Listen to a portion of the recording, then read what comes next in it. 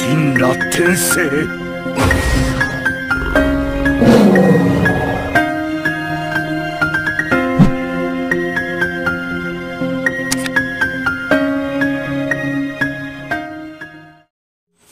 Assalamualaikum warahmatullahi wabarakatuh Oke guys pada video kali ini saya akan berbagi aplikasi Vmos yang ROM 712 ya Nah sebelumnya itu saya juga pernah berbagi Vmos itu yang ROM Android 5.11 ya. Nah itu untuk Android minimal versi 5 Kalau yang ini itu minimal 5 tapi itu bakalan mungkin black screen ya terkadang. Nah sini ini khusus untuk Android 7 ke atas ya recommendednya Oke setelah kalian download seperti ini kalian install install saja aplikasinya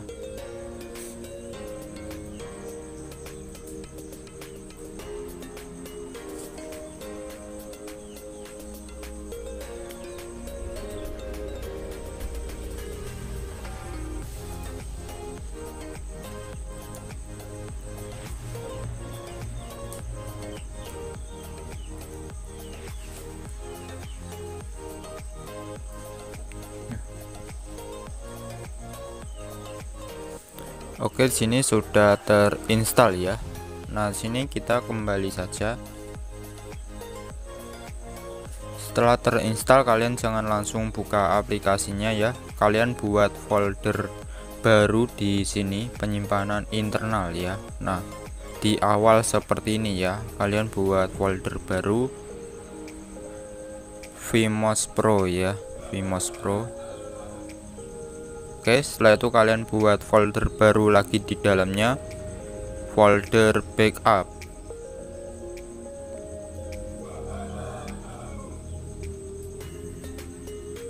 Nah setelah seperti ini kalian pindahkan roomnya ke sini. Saya tadi download di sini ya. Nah ini Vmos ROM 712 kalian pindahkan ke folder Vmos Pro ini lalu ke backup Nah kalian pindahkan ke sini ya. Oke setelah seperti ini kalian buka saja aplikasi Vmos nya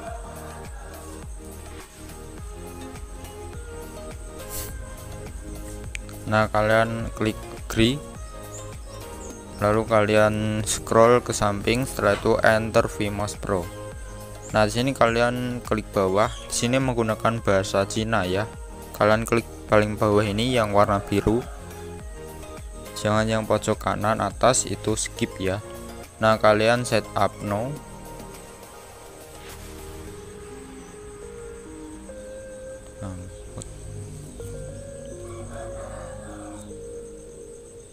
Nah ini setup no. Kalian aktifkan ya. Oke setelah seperti ini kalian izinkan izinkan ya Nah izinkan seperti ini.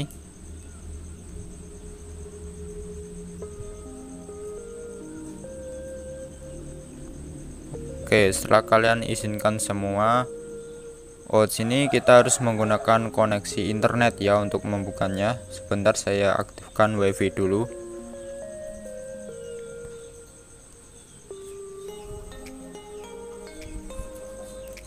ini mungkin untuk membukanya saja ya kita menggunakan koneksi internet.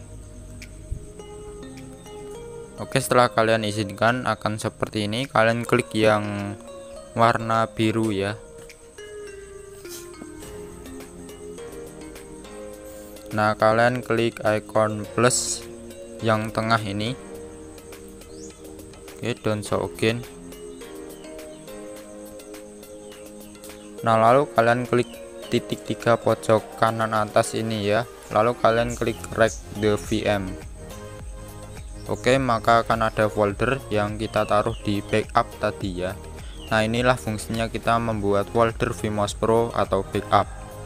Kita klik saja. Nah di sini akan start recovery. Jadi ini berfungsi itu seperti mengembalikan folder yang dicadangkan. Nah seperti itulah ya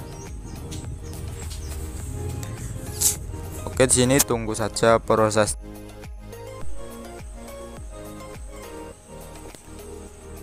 Maaf tadi error ya screen recorder saya. Entah mengapa kalau saya buat record VMOS seperti ini selalu error ya. Mungkin karena bertabrakan ya sistemnya. Nah kita tunggu saja sampai prosesnya selesai ini prosesnya offline kok ya. Mungkin online itu untuk membuka aplikasinya saja. Dan di sini klik down from next time kita klik biru ini. Itu selanjutnya. Nah. Error terus ini saya buat record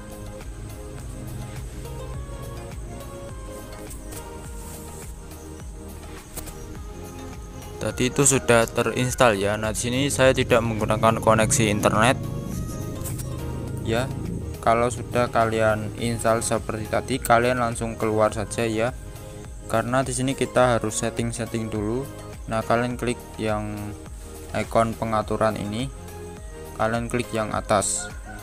Oke setelah seperti ini kalian klik display setting lalu kalian refresh rate kalian buat 30 fps saja dan resolusinya kalian bisa atur-atur sendiri ya. Nah sini untuk virtual machine information kita bisa ubah nama perangkatnya.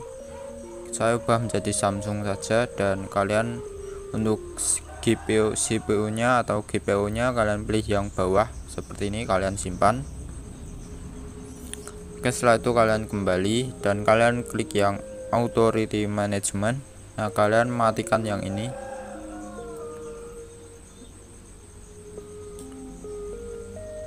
Nah kalian matikan yang itu saja.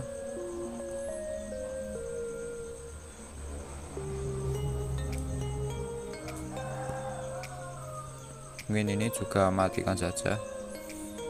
Oke setelah seperti itu kalian coba start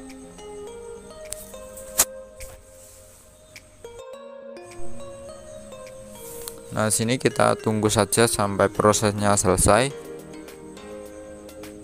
Iran saya kok suka error ini ya. Mungkin ada bug di HP saya ini. Atau mungkin karena notifnya double seperti ini ya. Jadi itu bentrok aplikasinya.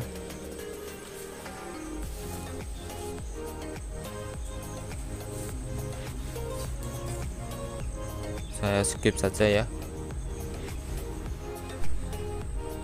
oke setelah setelah terbuka akan seperti ini ya. Nah kalian cari dulu di pengaturan. Kita setting-setting dulu ya. Yang pertama saya ubah bahasa dulu ya. Di sini karena saya orang Indonesia ya saya ubah ke Indonesia lah ya. Agar saya tidak bingung. Nah ini Indonesia. Lalu kalian geser ke atas seperti ini oke setelah seperti itu kalian pergi ke pengaturan awalnya. Kalian klik about emulator device lalu kalian klik bawah nomor bentukan kalian klik sampai tujuh kali. Nah setelah itu akan muncul opsi developer. Kalian scroll ke bawah. Nah untuk animasinya kalian buat 0,5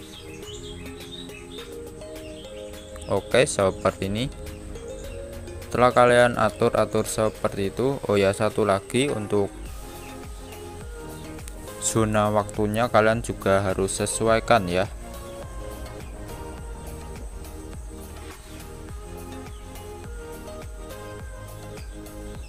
Nah sini pilih waktu Indonesia Barat. Oke seperti itu kalian harus sesuaikan semua.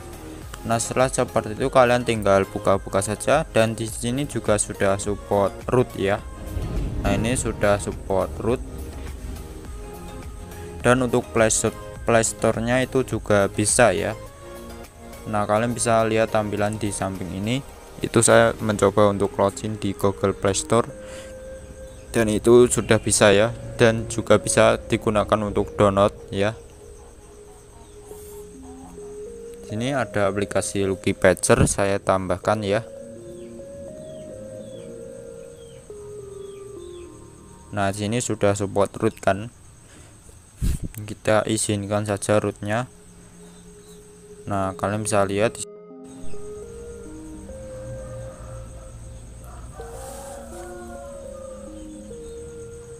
setelah seperti ini ya kalian bebas menggunakan ya untuk ngehack game atau apalah ya itu terserah kalian. Di sini juga sudah Android 712 ya Oke ya mungkin cukup itu. Di sini saya membagi aplikasi membagikan aplikasinya saja ya. Sini linknya MediaFair kok tenang saja. Ukurannya itu 360 MB ya. Awalnya itu hampir 500an ya. Itu saya keluarkan beberapa aplikasi yang menurut saya tidak penting ya. Oke sini sekian dan wassalamualaikum warahmatullahi wabarakatuh. Bye bye